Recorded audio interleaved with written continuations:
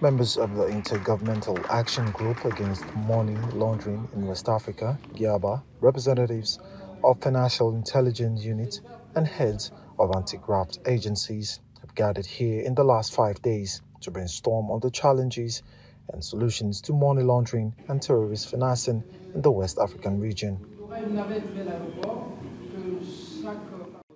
The focus is to identify impediments to regional efforts to curb the menace of money laundering and terrorist financing in West Africa.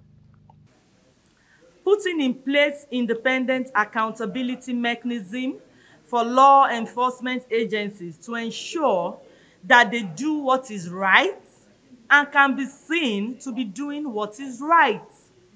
Such a mechanism should have powers to conduct periodic inspections, receive and review periodic reports and complaints from citizens.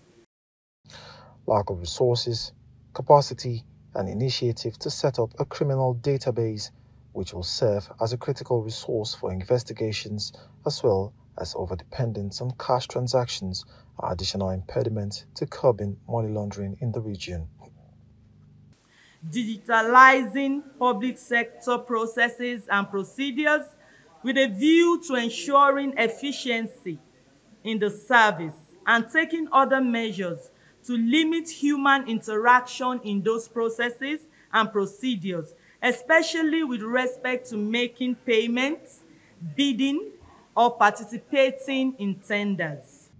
However, GIABA is making recommendations which members attending this workshop will need to implement in their various countries. Ensuring greater involvement of the media and civil societies in the procurement process, especially to monitor and report on project implementation and illegal or corrupt practices.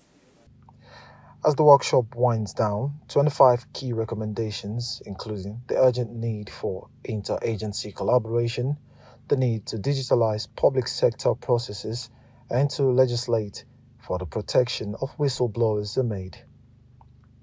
Participants believe strongly that if implemented, these recommendations will enhance the regional fight against money laundering and terrorist financing.